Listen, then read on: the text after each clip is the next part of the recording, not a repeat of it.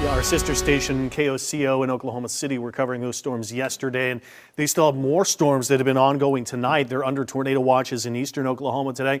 Flash flood watches, all those red circles that look like a tornado, a funnel cloud. Those were the storms that reported to have hit and produced those tornadoes last night in the Oklahoma City area and Norman, Oklahoma, where the University of Oklahoma is, uh, my alma mater.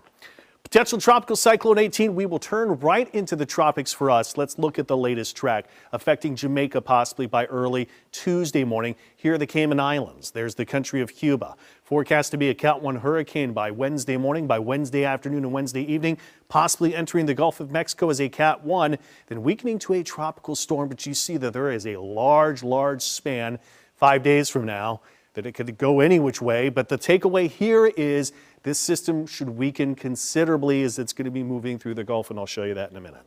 Winds right now at 35 miles per hour. North movement at 6. It's really hard to find the center of that system right now. So here's the breakdown of what's going on. Really warm water temps in the Caribbean. Look at the water temps in the Gulf, though.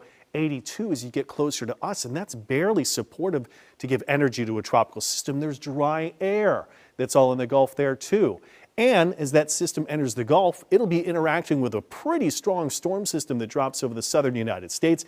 That's going to bring in a lot of wind shear to this system here too. So those are all things that will weaken that storm. Here's the official track. Here's forecast data out of the U.S. And look, this track has more of that center line in circulation just east of that centerline track. And this forecast has been consistent staying east and getting absorbed, maybe moving to us. But listen, this is a gusty wind and rainmaker according to that data forecast out of Europe is much closer to that centerline data. You see that the storm activity is east. That notes the wind shear that's associated with the system. But this forecast out of Europe takes it west and then joins up with the system west of us. And again, maybe just enhances our rain chances. When you look at all these different forecast data, I am seeing a little takeaway here in the U.S. with a little clustering wanting to take that system east of us here too also showing that this would be a rather tight-knit storm, really not expansive and large, and the wind field really not all that strong either. So the takeaways here likely to be a hurricane would be named Rafael. Tracks into the Gulf by midweek, but it weakens if it will move towards Louisiana. Still, it does not look like this is a major storm, even if it would head our way. Real-time temps, we've got 70s, we've got a breeze, we've also got dew points well into the 70s, so it's mild or warm and humid for the time of the year. Mentioned Baton Rouge tied a record high today at 89, going back to 1935.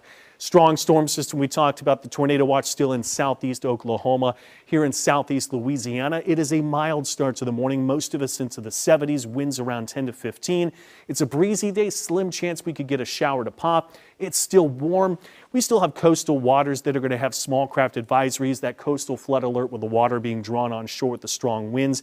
85, 86, 87. Same's going to happen here for Tuesday, a warm day, chance of a shower, temperatures into the 80s. So really how we've been going through October so far and now into November will just continue the late season warmth.